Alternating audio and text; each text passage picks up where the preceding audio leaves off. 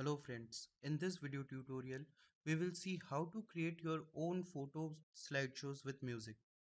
Now to achieve this task we will be using a free software named 4K Slideshow Maker. The interface is really simple, clean. The options are to add photos. You can uh, add photos from your local disk through a explorer window or the next option you get here is to add photos by dragging and dropping from a selected folder. Yeah this option is pretty nifty when you are having the folders already opened. So you can see the images are already added. Now let's try out something from instagram. Now how to add images from instagram? You say i want to add images from a particular user. You just type the username and you select to follow it. In a while you will see all the images from that particular user are coming onto the window. What you can do is you can select images from here and you can add them to your collection now we have the instagram photos appearing in the software window. Now we have added the images from localhost and instagram. So now let's change the music. So you can see it supports a lot of formats like mp3 mp4 wma ogg and likewise many other formats. So i will be using a mp3 file here. Okay I have already used my mp3 file I have added my photos.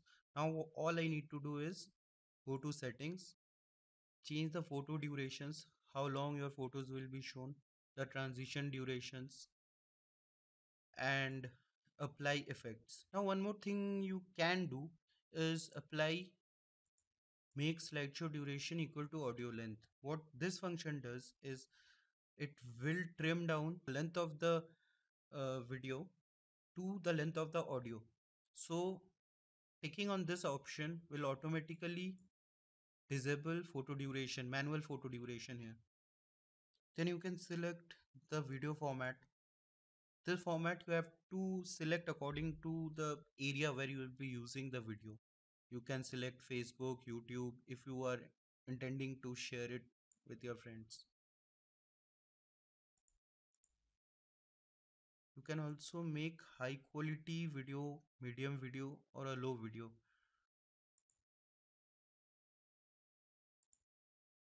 Now let's just take a show preview before you finally make the file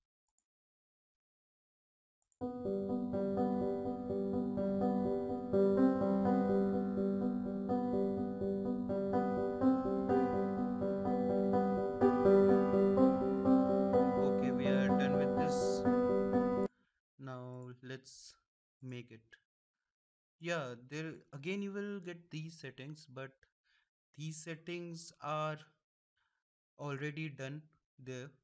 The these are taken by default from the main settings. Now what you can do is according to your video you can change these settings every time you make a slideshow. Then you click on continue. Videos are being processed and it really takes some time to process high quality videos so you have to wait till then. Now that the video processing is finished let's have a look at the final video.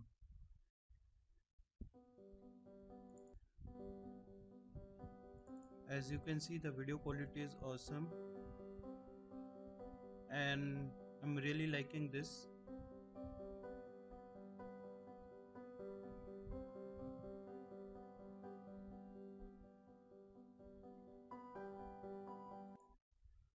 okay so to sum up 4k slideshow maker is really a simple software.